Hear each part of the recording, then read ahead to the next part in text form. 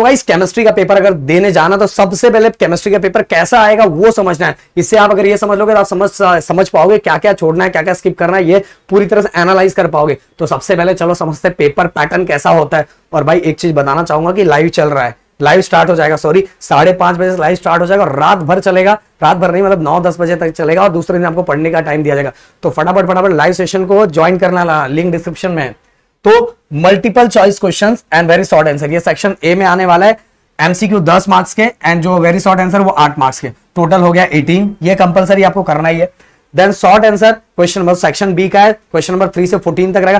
Twelve आएगा but twelve में से आप सभी को कितना करना है? ओनली एट करना है. कितना करना? है एट तो एट टू जा कितना हो जाएगा? सिक्सटीन ओके ये मैं कलर थोड़ा चेंज कर देता हूँ.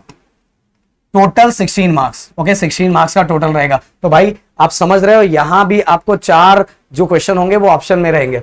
इसके बाद मैं बात करूँ सेक्शन सी की। तो सेक्शन सी के अंदर क्वेश्चन 15 से 26 तक मतलब टोटल 12 क्वेश्चंस आएँगे एंड 12 क्वेश्चंस में से बस आपको करना है एट क्वेश्चन एट थ्री जा ट्वेंटी और ये जो दिया हुआ है मार्क विद ऑप्शन के साथ दिया हुआ है। तो 24 मार्क्स का मतलब यहाँ भी आपको चार जो क्वेश्चन रहेंगे, वो ऑप्शन में दिए रहेंगे।